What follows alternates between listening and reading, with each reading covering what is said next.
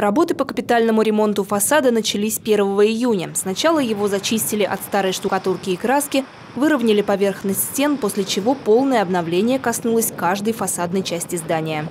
Администрация школы всегда уделяла ему особое внимание. А, последний раз капитальный ремонт фасада здания проводился где-то в 2008 году. В остальные годы директора художественной школы своими силами поддерживали здание в приличном состоянии, потому что ну, понимали, да, что центр города, памятник архитектуры. Здание, где располагается детская художественная школа, памятник историко-культурного наследия. Оно было построено еще в начале 20 века, а потому к ремонту подрядчики относились с особым трепетом, чтобы не повредить оригинальные элементы фасада.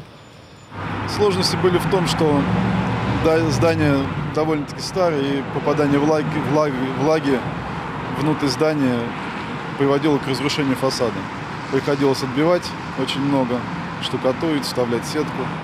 Гарантийный срок – три года. Если за это время выявятся какие-либо недочеты, подрядчик обязуется их устранить. Это что касается работ снаружи, а вот внутри сотрудники художественной школы справляются своими силами.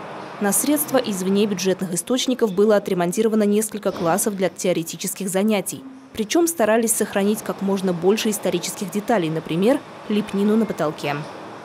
В библиотеке художественной школы также проходят занятия. Здесь дети знакомятся с биографией и творчеством великих художников. Кстати, книжный фонд библиотеки очень богат. Здесь более 4000 экземпляров книг. Здесь тоже освежили интерьер, покрасили стены, немного обновили фонд книг. А они здесь на самые разные темы. Это и энциклопедии, и исторические тома, и коллекционные издания. На ближайшее время планы тоже грандиозные – полностью отремонтировать выставочный зал от пола и до потолка. Заменить окна на пластиковые, а также поработать с освещением, добавить подсветку для каждой картины. Место, в котором создаются шедевры, должно быть уютным и комфортным, уверены сотрудники школы. Создавать такой комфорт планируют также своими силами. Яна Ильина, Олег Осипов, Александр Щеднов. Область новостей.